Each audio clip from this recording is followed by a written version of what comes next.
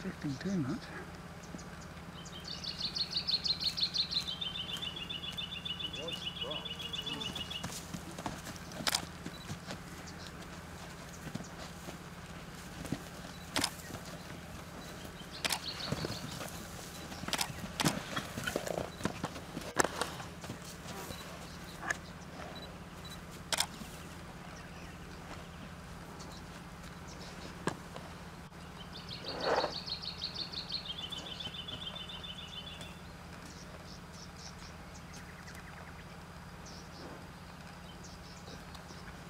Now he's got adrenaline up a little bit, see the snort and the, you know, Hmm.